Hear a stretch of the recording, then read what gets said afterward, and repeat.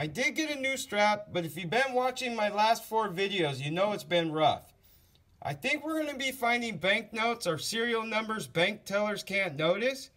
So we probably won't find any star notes or four of a kind or five of a kind. Hopefully I eat my words and we find some big stuff in here.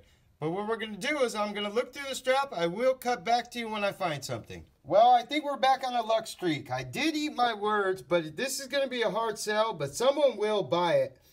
But it is sixes. It's four sixes, as you see. Four of a kind sixes.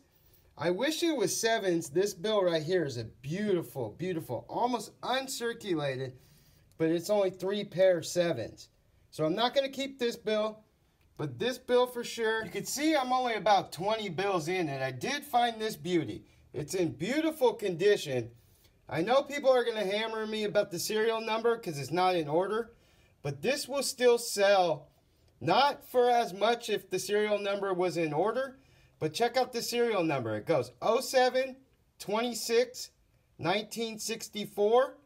So it is a date note or a birthday note. I'm definitely happy with this strap right here. I wish we would have found some star notes, but we did pull out two banknotes.